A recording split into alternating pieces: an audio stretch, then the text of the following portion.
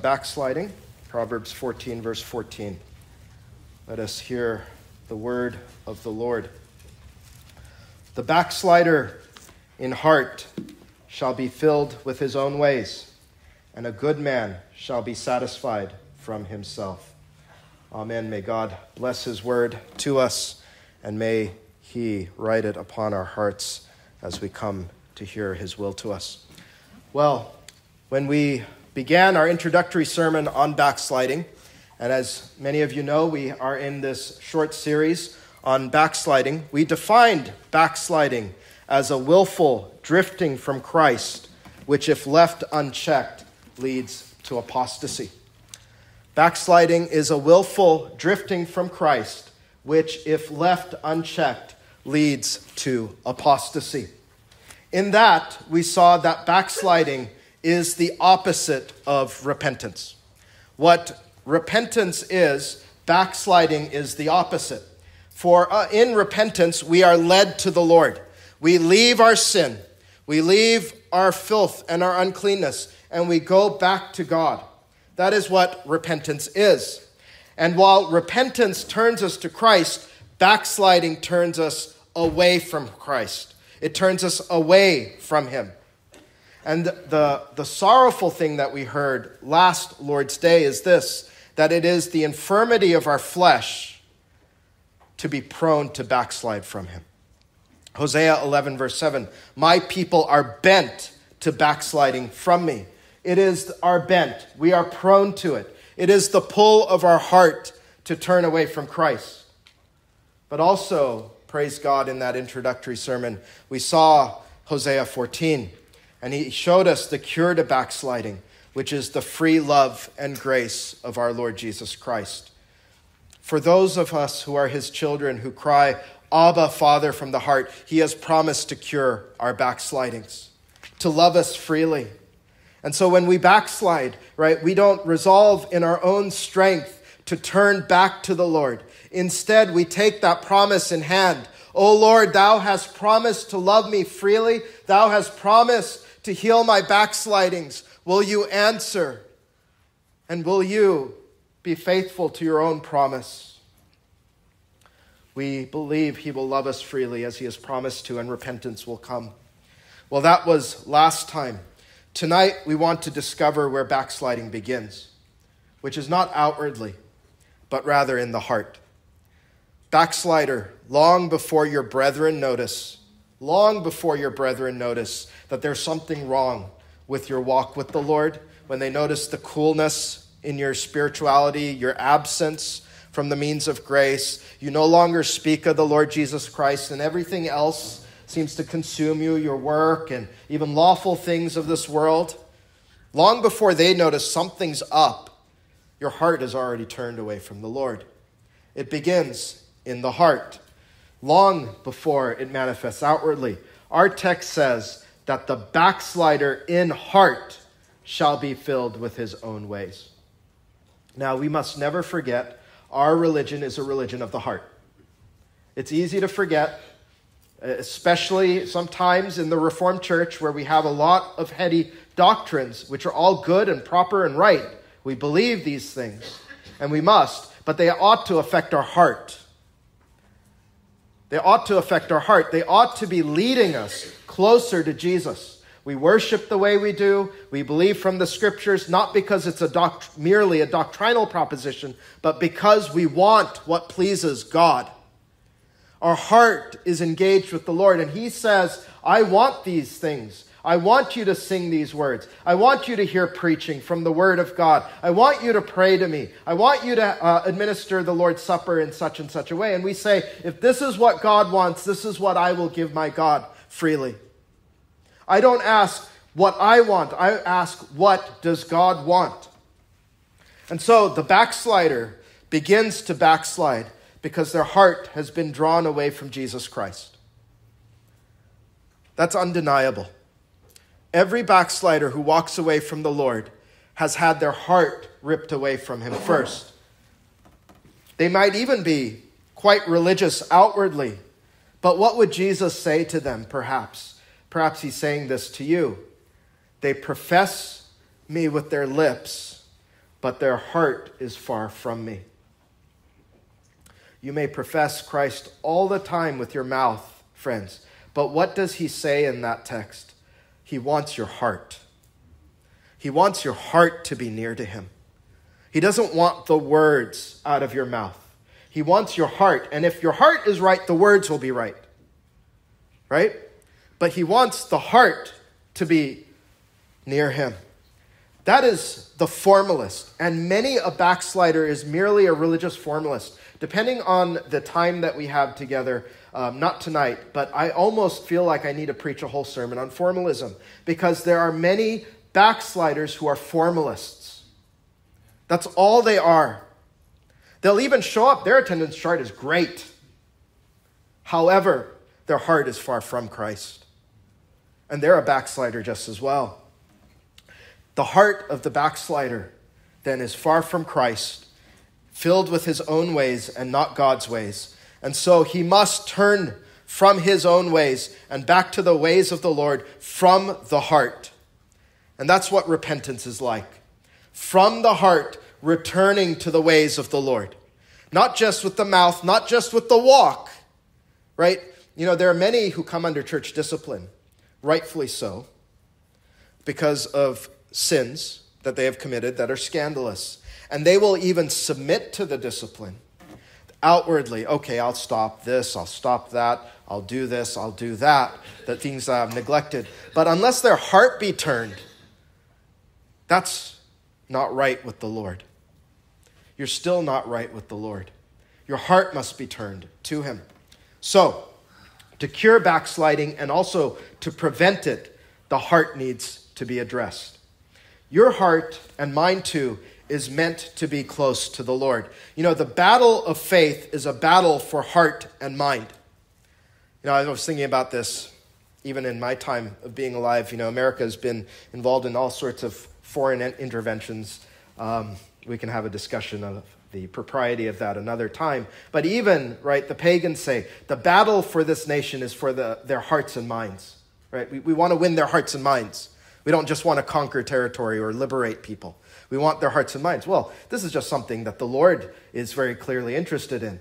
He wants your heart and He wants your mind as well.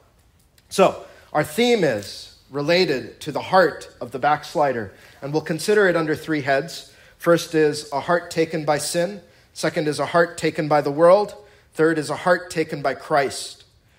Now, the first two, and these are on your bulletin, I trust, the first two indicate where the backslider's heart is. And the last heading is the remedy for the backslider to have their heart captivated by Christ.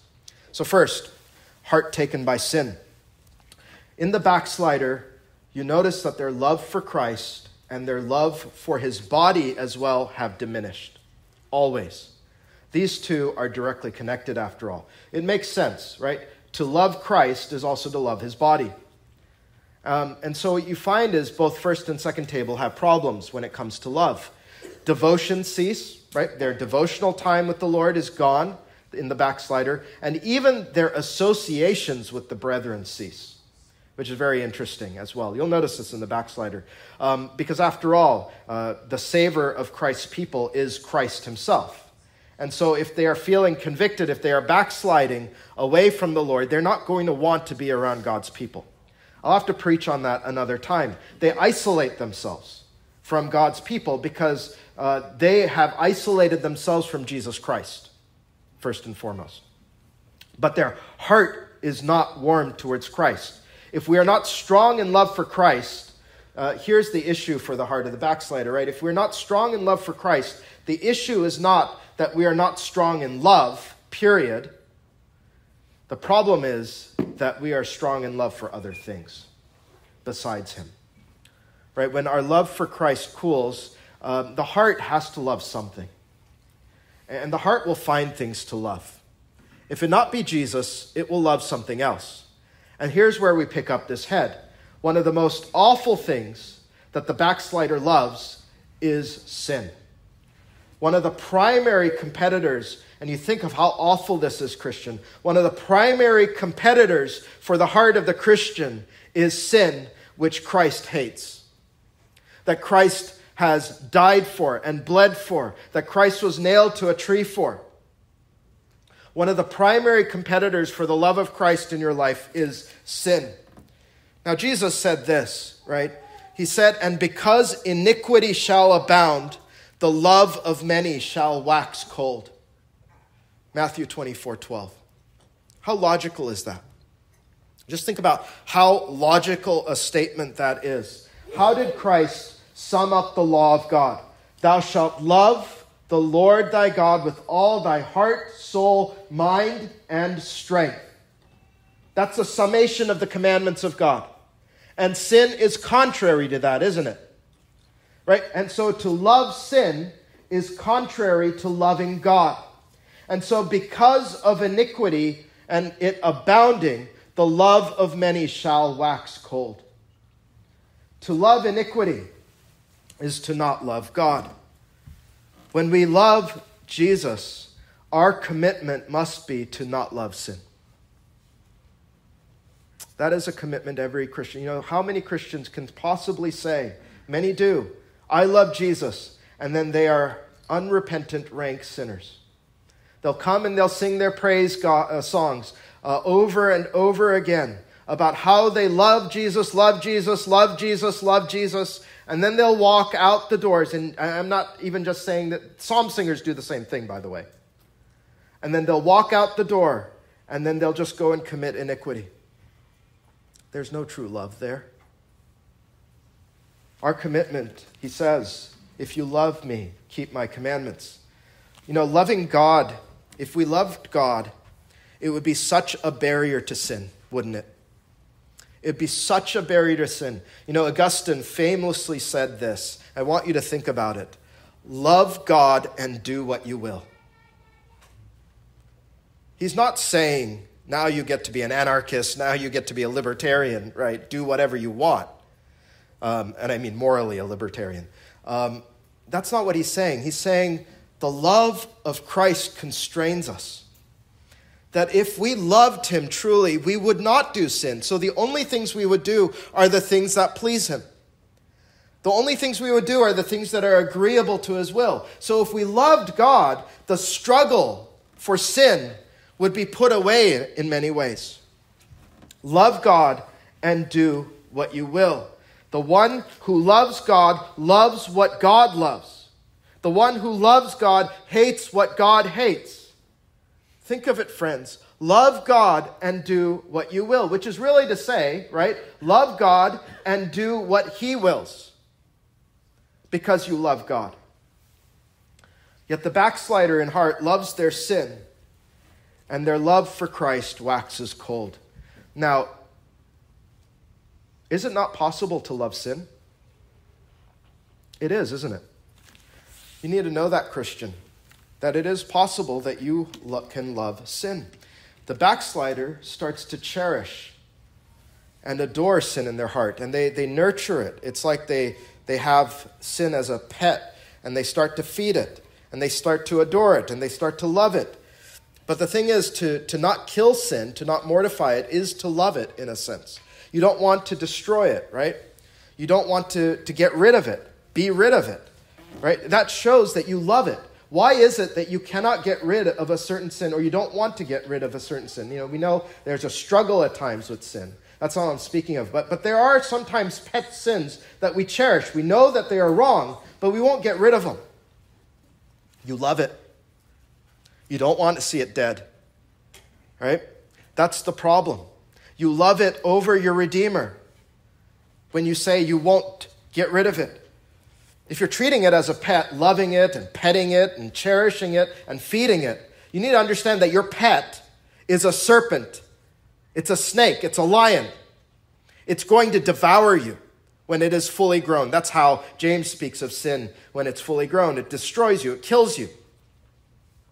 It will devour you. It's as though, and here's the expression, you're, um, you're feeding something that will bite the hand that feeds it. That's what you're doing. You are nurturing a love for something that has its only goal is your destruction. That's its only goal is, is to di- tried to diminish the glory of God and to destroy those made in God's image. Why do we love sin? Well, let's be honest. The Bible says it gives us a kind of pleasure.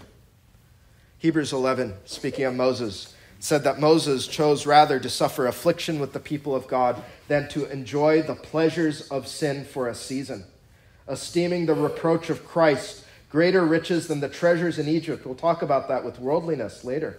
But for he had respect unto the recompense of the reward. Sin gives us a bit of pleasure. It's small, it's transitory, but it's like a hit of a drug. And you come back wanting more. That's what sin is like. You start to feed it, and you, well, you start to give into it, you start to embrace it. So, oh, that was a bit pleasurable. And then you want more and more of it. You know, even as I was contemplating sins that we would even consider, even pagans might consider ugly, like the sin of bitterness. How many of you have taken pleasure in bitterness and you won't let it go? Bitterness starts to feel good, doesn't it? And it comes pleasurable. And you don't want to get rid of it because you're taking a certain kind of satisfaction in it. But it's killing you, it's destroying you, is what it's doing, isn't it? But you start to love the bitterness, you start to love it, and you start to despise the notion of forgiveness and mercy and grace, even to your enemies. You've fallen in love with sin. But the more sanctified we are, the less pleasure we will find in sin. A key then to the mortification of sin is to make sin revolting to you. You heard this last time. It is deceitful, sin is. The pleasures it promises, it cannot deliver. Backslider, if you were at your most cogent, you would look at the sin that you are indulging in and you would say, Look at me now. Has this really brought me any blessing? If you were honest with yourself before the Almighty, if His face before you, you bear open to God, you would have to admit, this has not been good for me. A good meditation, children, and maybe you've seen this kind of thing, is to think on the drug addict. Picture them in your mind after years of addiction. And you see them outwardly wasting and wasting away. And you see them ghoulish, almost inhuman, unable to do anything, but they will do anything. They will sell their body. They will go after anything. They will murder. They will do whatever in order to get the next hit. That is what sin does to you. And that is what you look like spiritually before God when you are that taken up by sin. You become that kind of thing. Now, maybe others can't see it. Maybe you won't see it in the mirror but that's what your soul has become like. And it's something that ought to keep us away from indulging in sin. It ought to be to us revolting, pathetic, disgusting, even when the sin seems respectable on some level. Pride, hypocrisy, worldliness, whatever it is, backslider, sin is defacing you, and it is destroying and devouring you. There are many sins I could rail against that the, un, uh, that the backslider indulges in, brethren. But I think for tonight, what I want to speak of, because it's so connected to love, is that the worst sin, the root sin, is unbelief. Faith and love are so deeply connected in the scripture, right? When love for Jesus grows, faith grows. When faith grows, love for Jesus grows. When faith dims, you can't see him anymore, Peter says right? And love diminishes. Now, these three abide faith, hope, and charity. A threefold cord, not easily defeated. But if one of these three cords fray, then we are backsliding. Hebrews 3:12 says, "Take heed, brethren, lest there be in any of you an evil heart of unbelief in departing from the living God." This is how departure begins unbelief, backsliding. Unbelief is a sin of the first commandment, just like lovelessness. It strikes at the very first commandment, which children you know is, Thou shalt have no other gods before me. Now, in glory, there's no need for faith, but in this time we need faith, and we need faith to believe in the character of our God. We need faith to remember his commandments are good. We need faith to believe his promises are yea and amen in Christ. The backslider in heart must pray, Lord, I believe these things. Help my unbelief. Because the backslider has bought the lie, whether they admit it to themselves or not, that God is not good. That being with God is not good. That his commandments are not lovely. Unbelief, uh, unbelief begins to despise God because God, we believe erroneously, is keeping us from the pleasures of sin. This is how it all began in the garden, didn't it? The devil says one thing, God's word says one thing. Eve doesn't believe God, Eve believes the serpent. She doesn't believe in the goodness of God. She doesn't believe in Him constraining her to not eat of that fruit for her own good and the good of her posterity. Unbelief begins that backsliding, which leads to a rejection of God. She was deceived by sin. The woman was deceived. She backslid away from God and towards the forbidden uh, fruit. So, backslider, if there's one thing I know, sin has been deceiving you. You have been deceived. Don't be so proud. You've actually been deceived by sin. Whatever that sin is that you're holding on to that keeps you away from the Lord, you have been deceived. You've been deceived. Sin has been deceiving you so greatly. Its pleasures are transitory, and you know the payment due for sin great and terrible misery. Is that not the promise of sin, really, if you got past all of its deception? It promises, God promises, really, that sin's end is misery. But if sin has grabbed your heart, Christ is calling you to return to Him child of God? How long will the pleasure of your sin last? Is it not fleeting? And what comes afterward? Just diagnose yourself if you've been a Christian any length of time, backslider. What comes afterward? Guilt, misery, the ruinous effect of your soul. Do you not believe that? Do you not know that? Faith believes this, which leads to a greater love for Christ when you see what sin is. It leads to a greater hatred of sin when you remember what sin is, how can you love it? How can I love it? Why do you and I give our heart over to sin at points? God said, Sin shall not reign over you. Have you ever seen somebody, and maybe it's been a great grief to you, maybe it's even been family members. Have you ever seen somebody fall in love with somebody that you know they ought not fall in love with? And you know the effect it will have on them? especially if they be married, and you say, What in the world are they thinking going after this person? Well, that is what it is like when the Lord sees you go after sin. What are you thinking? Why are you being unfaithful to me, who is the fountain of all blessedness and life and love? And why are you going to this, this stalker that is called sin? Sin desires to devour you, sin desires to kill you. It, it's almost like, and, and pardon any, anything that might be said that might be perceived as indelicate. It's almost like, right, uh, a husband sees his wife being stalked by a, a, a, nasty stalker and she willingly gives herself to him. What are you doing? This, this lover of yours it, it is going to destroy you as it destroyed Gomer. Backslider, what do you find in sin that is so captivating to you? Honestly, what is so captivating about sin to you? It ought to revolt you. Make it revolting.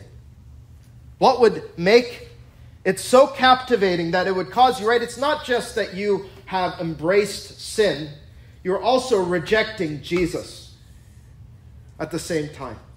What would make sin that lovely to you? That would cause you to turn from your beloved? No, you need to rekindle first love for Christ, brethren. Faith must lead you to see him. Do you remember what it was like when it first hit you that Christ died for your sin. And I don't mean the time that you were converted, but when the Lord really impressed upon you that Christ Jesus died for my sin and its filth and its wickedness and the misery that it caused my Redeemer. When it really struck a chord in your soul that the God of heaven was incarnated so that he could suffer and die for my sin. Did you not look upon him and mourn? I think you did, because the Bible says you would. Did that not grow love in you all the more that this one would do that for me? Though my sin is obnoxious to him, he was made sin for me, that I might be made the righteousness of God in him, that he was slain in my place, that all of God's wrath was poured upon the Redeemer. And astonishingly, the Bible says God did that in love for me. And he went to the cross in love for me. And yet I am in love with the thing that he hates and that he died for. This is the kind of love that Jesus wants you to rekindle in him in Revelation 2 4. Nevertheless, I have somewhat against thee because thou hast left thy first love.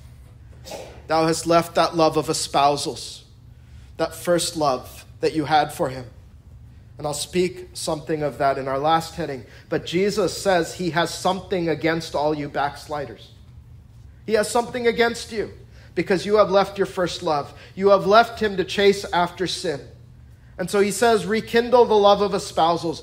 Uh, Jer- Jeremiah 2 2. Go and cry in the ears, ears of Jerusalem, saying, Thus saith the Lord, I remember thee, the kindness of thy youth, the love of thine espousals.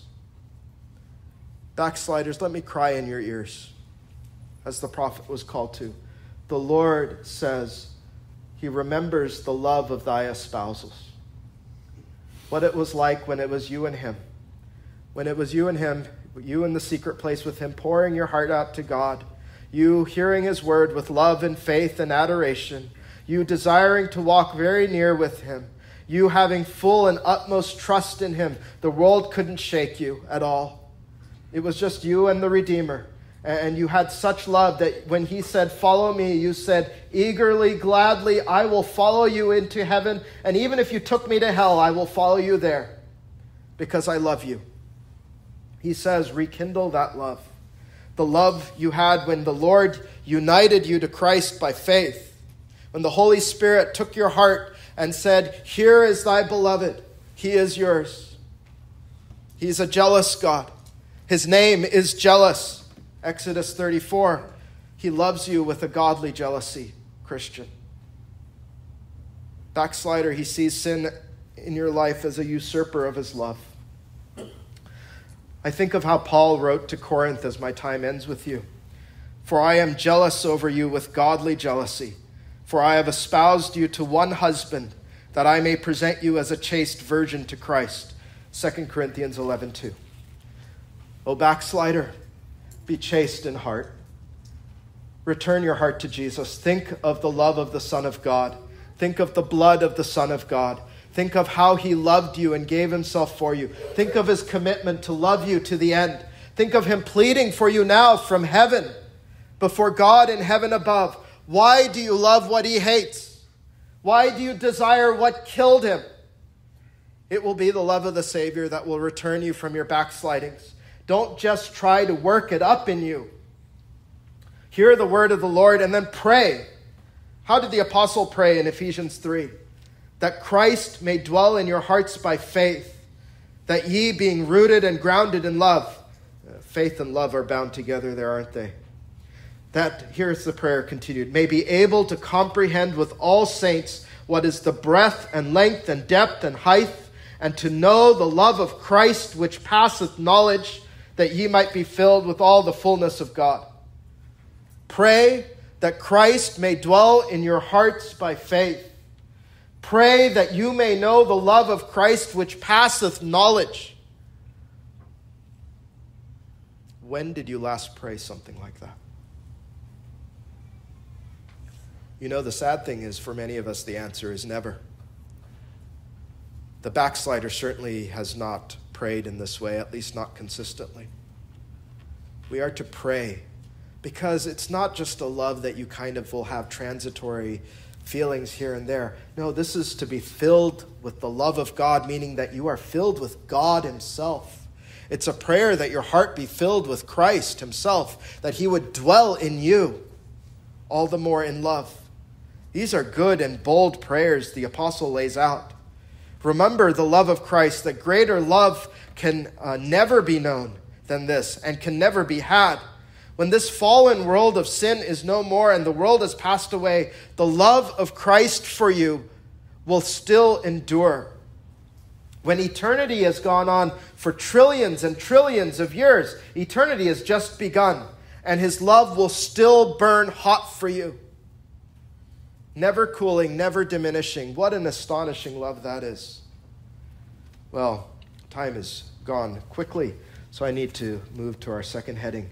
It's not just the love of sin, but also a love of the world that will rob us from Christ, our heart from Christ. Many backsliders have their affections on the world. Let's consider that next a heart taken by the world. 1 John 2 15 through 17. Love not the world, neither the things that are in the world. If any man love the world, here's key the love of the Father is not in him. For all that is in the world, the lust of the flesh, the lust of the eyes, the pride of life, is not of the Father, but is of the world. And the world passeth away, and the lust thereof. But he that doeth the will of God abideth forever. Now, there are things in the world not inherently sinful. However, by elevating them above Christ and his kingdom, they become sinful to us. To make money is not inherently sinful. In fact, it's good but to be consumed by money is sinful. To eat food is not inherently sinful. In fact, it is necessary. But to lust for food, which is gluttony, is sinful. To recreate is not inherently sinful. It is necessary for the body. But to pursue it over the things of God, that is sinful. To love yourself in an appropriate way is not inherently sinful, but pride is sinful. The backslider this happens so often, especially in our church society, often falls more and more in love with the world. The problem, the danger for you in that is that we often don't remember the Lord's words. And there are these three remember Lot's wife. Remember Lot's wife, a woman whose backslidings became perpetual. There was a woman who loved the world so dearly that when mercy took her by the hand, she said, Let me go so that I may look back at my beloved world. Sodom. And so she became a pillar of salt, children. You know that. A permanent monument to perpetual backsliding is what she is. She is an illustration of Jonah 2:8 as one who would forsake their own mercies for the love of the world. The worldly backslider finds that they must consume the world, but in reality, the issue is that the world is consuming their soul. It's the other way around. Because what is the problem when the world when the backslider is hungry for the world? Well, the world cannot fill their soul. The whole universe, backslider, you need to know this today. The whole universe cannot fill your soul. Everything in creation is insufficient to fill your soul. Absolutely so. That is why so many who make it to the pinnacle of what this world has to offer kill themselves. You know it. You just look at celebrities. They reach the very pinnacle of what this world has to offer, whether it is wealth or fame or women or men, and they can't deal with it. They realize that this world is empty and it cannot fill their soul. And many overdose to escape this grim reality. They come and they say, with Solomon, but not with Solomon's faith, vanity, vanity, all is vanity. The backslider has yet to come to that conclusion. But, boys and girls, as I've already alluded, the Lord is so good that He has given you the book of Ecclesiastes, that you may know this by faith to show you all is vanity apart from the Lord. Then I returned and I saw vanity under the sun, There is one alone, and there is not a second. Yea, he hath neither child nor brother. Yet is there no end of all his labor. Neither is his eye satisfied with riches. Neither saith he, For whom do I labor and bereave my soul of good? This is also vanity. Yea, it is a sore travail. Ecclesiastes 4 7 through 8. These are the words of the richest and most famous man who lived on the face of the earth at that time. Think of this, friends. I just want you to meditate on it. If you had all that this world had to give, but not God, would you be satisfied? Think on it. If I could have, you know, the problem is that, you know, the devil sort of lures us and the world lures us with little breadcrumbs, right? If I could have this, just this extra piece of the world, then I'll be satisfied, knowing that the breadcrumbs actually lead off a cliff. But if you could look at the end of these things and you could say, if I had everything that worldly man has desired, if I could have it all as Solomon did, would I be satisfied? The answer is no. That's why billionaires are not satisfied with a billion dollars more that they can spend in a whole lifetime. Give and give, they say, more and more. This is why men who are titans of industry are not satisfied to remain there. They must take over the world. They think they can have more and enough to satisfy, but they can't. The world blinds our hearts and minds. And it's the lust for the world and the things of this present world that often leads us away from Christ. Many a backslider begins their slide by being consumed with the things of this world. Even lawful things have displaced Jesus to them.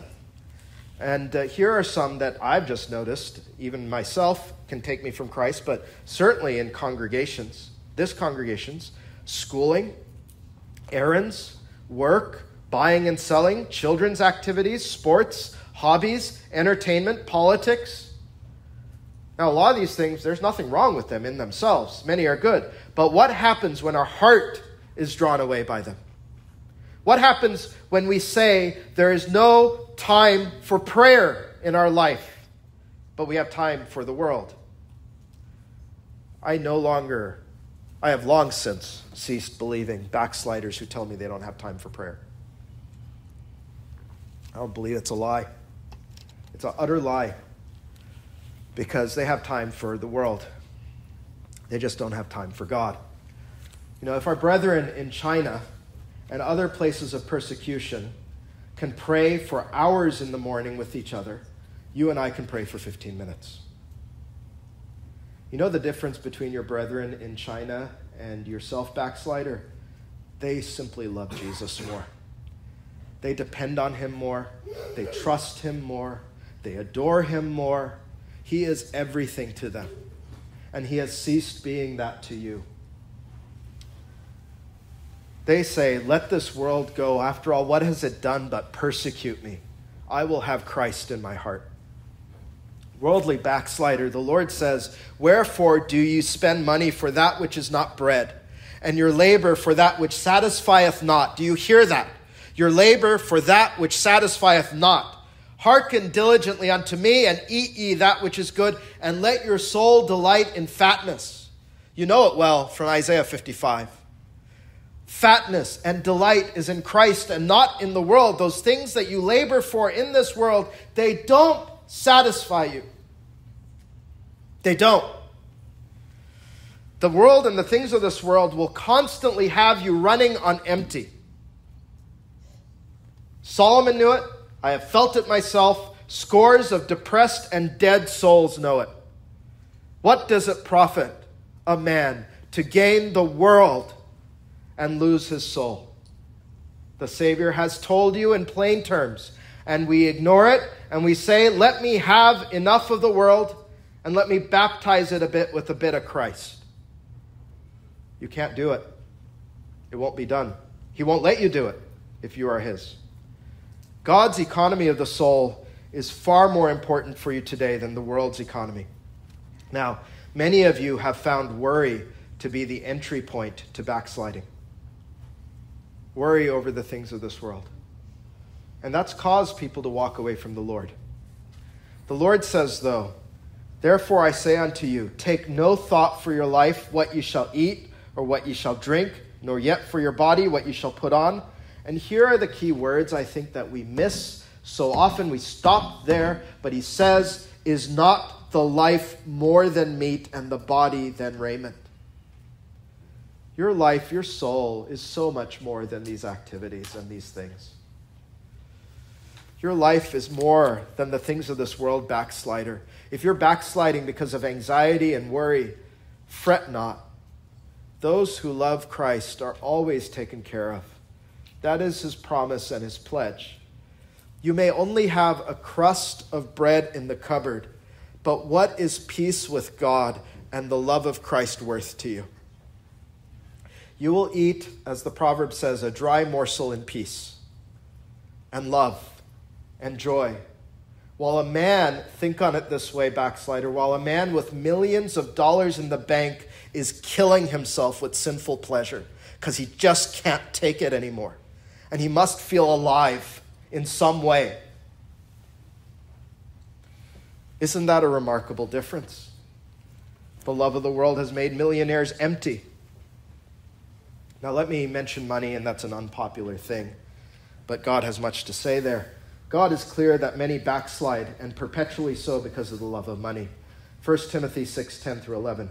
For the love of money is the root of all evil, which while some coveted after, here's the part, you know, we often memorize the first part, but here's the next part. Which some coveted after, they have erred from the faith and pierced themselves through with many sorrows. But thou, O man of God, flee these things and follow after righteousness, godliness, faith, love, patience, meekness.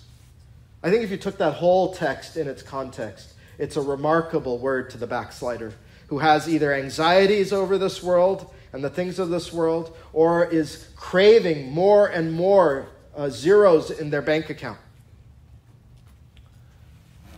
Many worship money, many covet it, and even steal for it.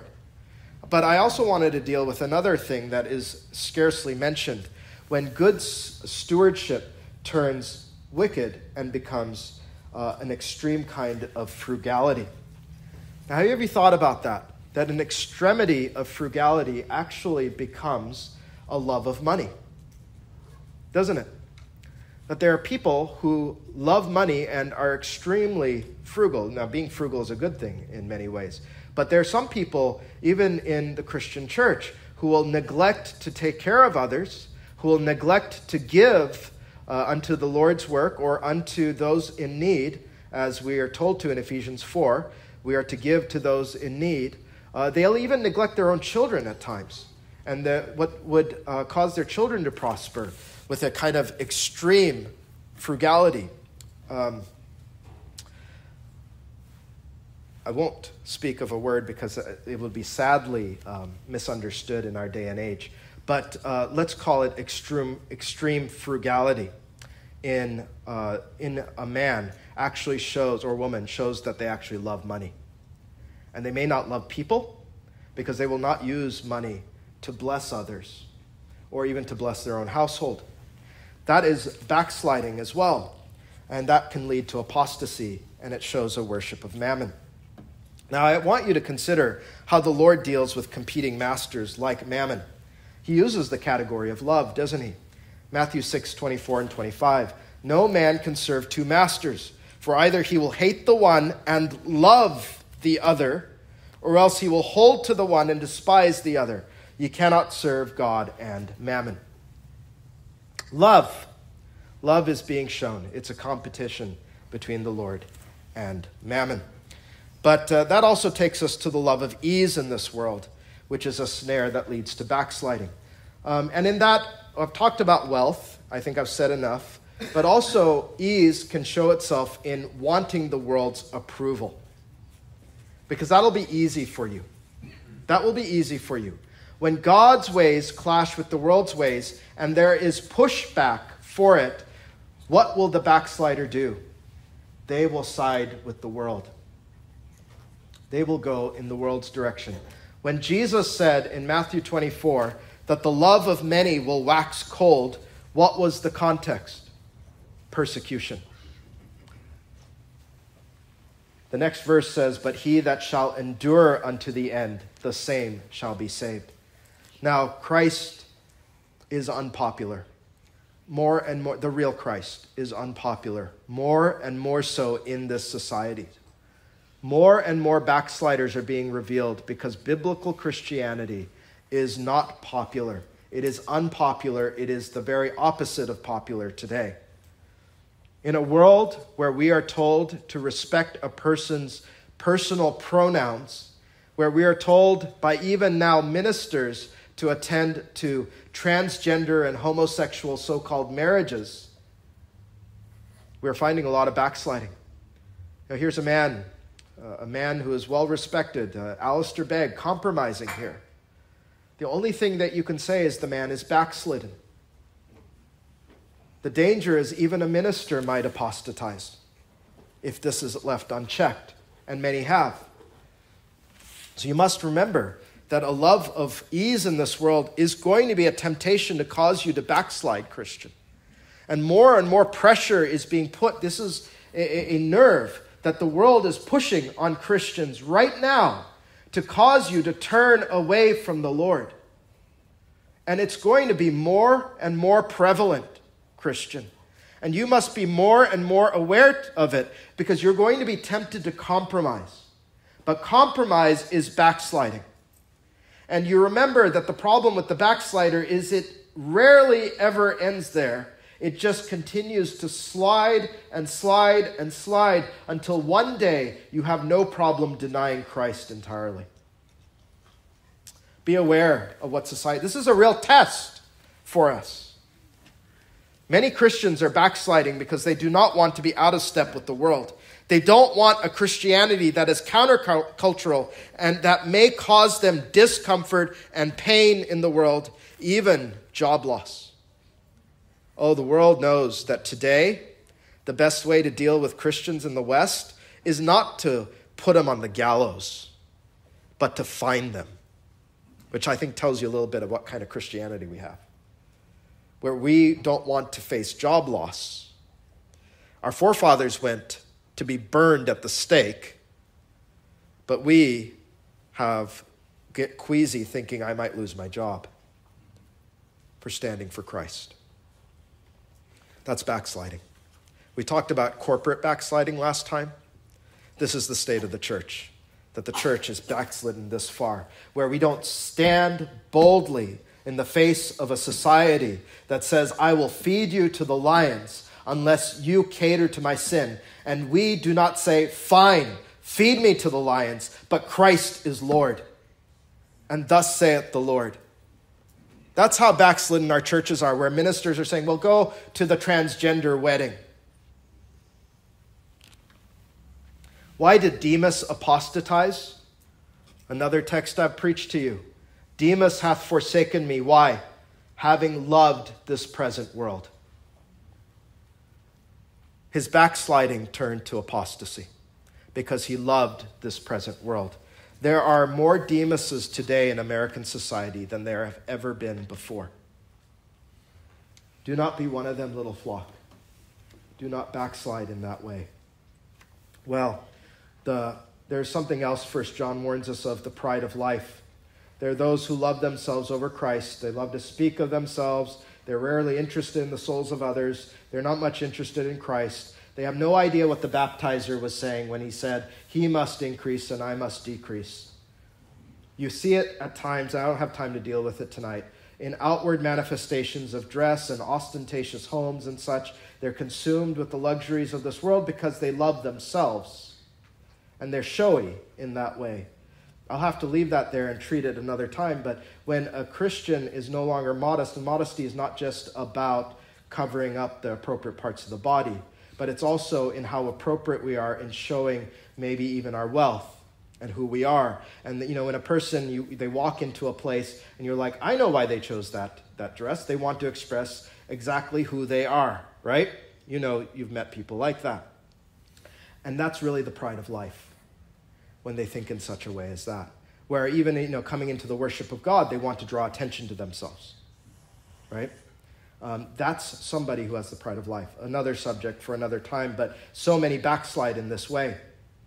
Now, the world actively is coming after you, and you must know that. It seeks to uh, bring your heart to itself. And you must be on guard concerning that. I'll have to treat that another time. But I also want to warn you that people may take your heart away from Jesus.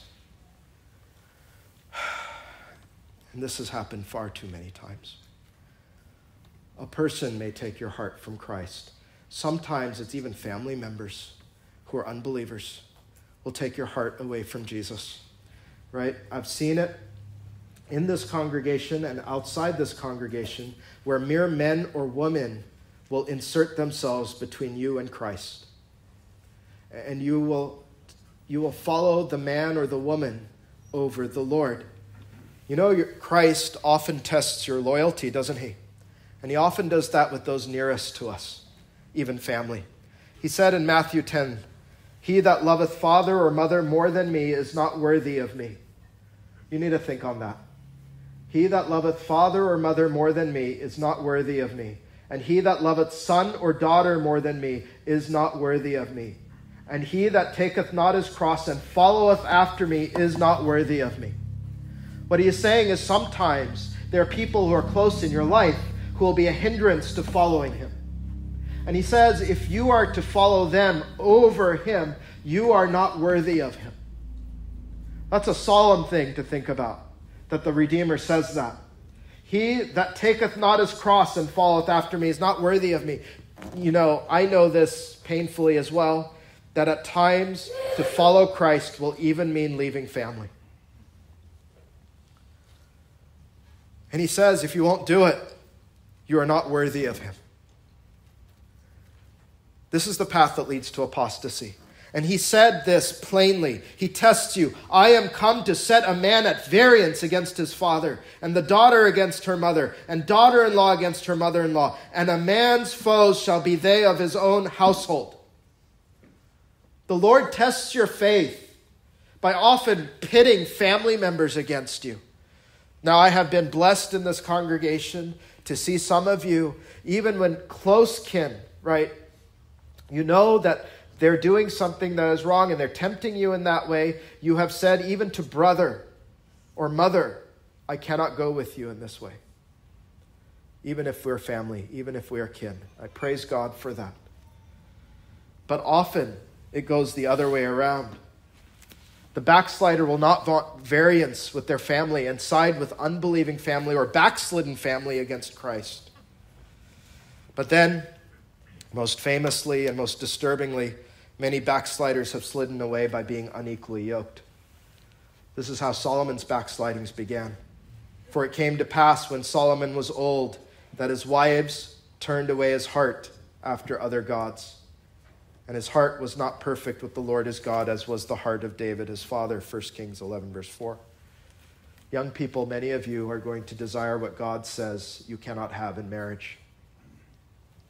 Whether to an unbeliever, which almost always, by the way, ends up in apostasy, or even unwise marriage matches.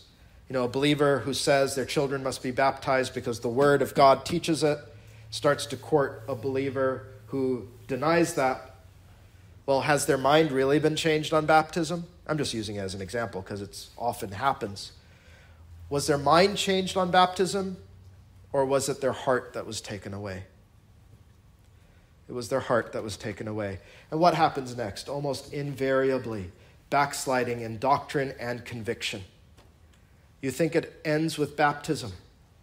Well, you have clearly said that this person is actually my Lord in some ways because I'm willing to give up conviction for that person.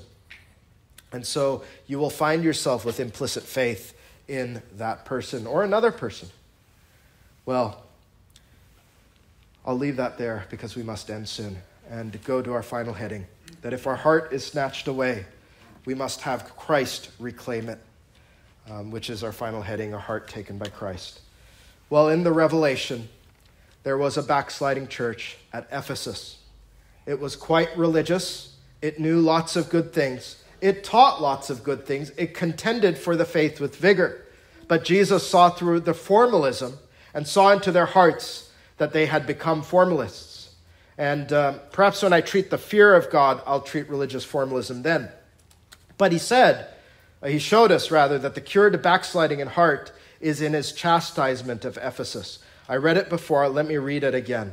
Nevertheless, I have somewhat against thee, because thou hast left thy first love. Here's the cure Remember, therefore, from whence thou art fallen, and repent and do the first works. He says, You have left your first love. That love that you had first of all with Him, those high days of love you had when you were first engaged to be His. And He says the cure has three ingredients remember, repent, and do the first works. First, remember from whence thou hast fallen. Again, I'll just bring this back because it's a needful reminder. Remember the days of your espousals to the Lord. He says, Do you remember the days of your espousals to me? What it was like when I was on your mind and heart only, when it was just me and you. Remember, believer, how Christ has captivated your heart and mind. You can think back in your history to those days in which you knew the love and presence and care of the Lord and if you're backslidden, the one thing I know is that those days are long, long gone away. But he says, remember them. Remember what you were like at the height of your spirituality. Remember how far, right, you have fallen from that. That's what the backslider has done is not only is it a departure laterally from the Lord, I think maybe it would be better pictured as a dropping off from the Lord, as a falling away from the Lord. Not just a moving away, but a falling away, which is why if it is left perpetual, it falls into the pit of hell. But he says, Remember. And he says, I can give you back what you have given up. If the fire of love is cooled in your heart, remember who Jesus is. Remember what he has been to you. And remember his unquenchable love for you, backslider. You remember how the Lord warned Cain about sin, that sin is crouching at the door of your soul and its desire is for you. Now, that desire is a devouring desire of a horrible sort. It means to destroy you. The same kind of desire a lion has when it licks its chops at you. But in Song of Solomon 7:10, the church says, "I am my beloved's, and his desire, the same Hebrew word, is for me." Same Hebrew word, two very different meanings. The question is why has sin and the world taken your heart away from Jesus? In the arms of sin and the world, you find sickness and misery and damnation. And in the arms of Christ, you find peace and joy and nurturing love.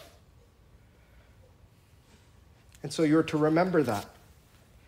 I have to be brief in these things because of time. But the second prescription is repentance. Lovelessness for Christ is to be repented of. It is a sin. Don't just treat it as a feeling. It is a sin. It is a sin to not love Christ above all, a first commandment sin. It makes sense that our Lord would say to repent of lovelessness, because backsliding is lovelessness and a moving away from the Lord. And so repentance then would bring us back to Him in love. In love. And when you do, he says he will love you freely and he will give you grace. And he said to do the first works. And I preached to you on those when I preached on the seven churches. He, he says, Remember what you did when you first came to me, when you were first espoused to me, but now you no longer do these things. You, you have made a habit of not doing these things, backslider. But you once had a habit of doing these things. I don't know if you ever reflect back on your spiritual life. But Jesus says you must. You must. Remember that first work. I'll give you some of the ones. I won't give you all of them because of time. Remember those works that you first did? Remember that first work of trust? You once trusted Jesus. You put your life in his hands and not in the world's hands. You said, Come what may in this world, I will trust him. Though he slay me, yet will I trust in him. Come what may, my Lord loves me and will care for me, so I will trust him implicitly and follow him. Then you remember how good it was when you were a student of the Word of God. You loved it, you dove into it, you, you probably, like a lot of us did in the early stages of our Christian life, bought a bunch of highlighters to highlight our Bible in all kinds of ways because we wanted to devour His Word. I'm not making an argument pro or con for highlighting. But you said, This is the voice of my beloved. This is the voice of God. And I love it. And I want to know it. And I want to know Him in it.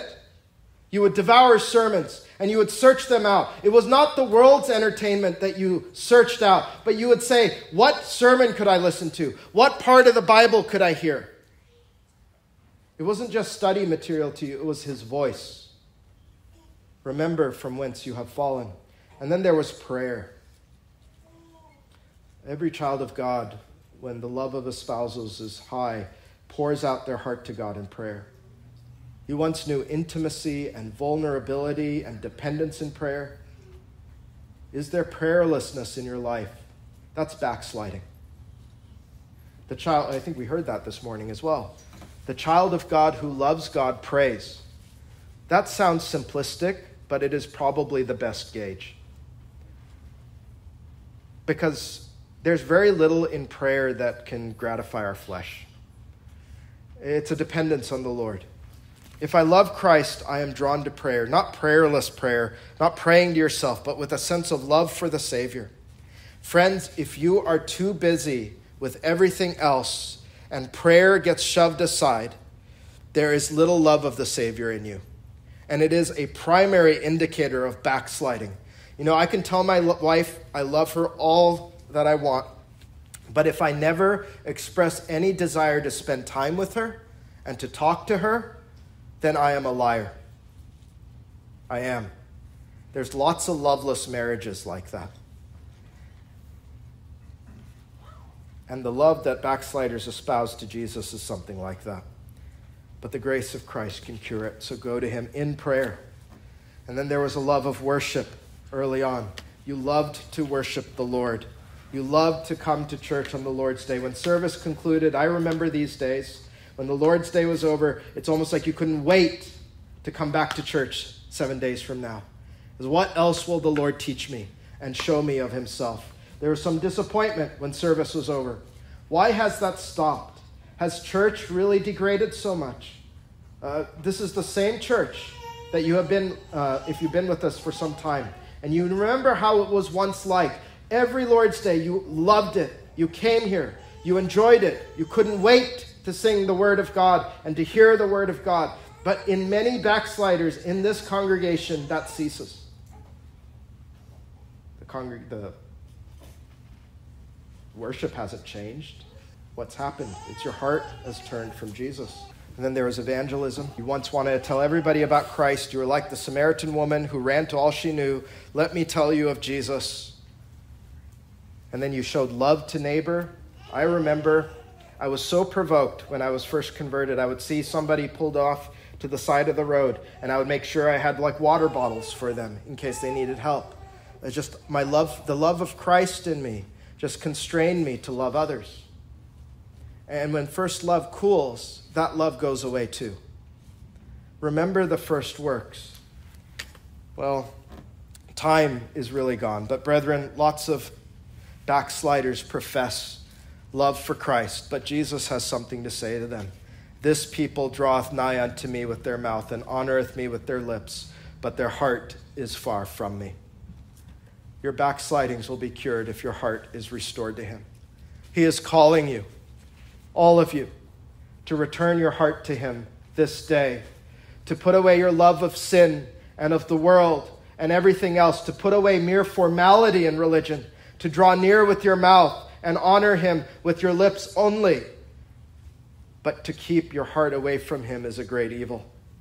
I fear, I fear that the church, and I'm not just speaking of this church, is so full of backsliders in heart that seem outwardly as Christians, but their heart is far from him.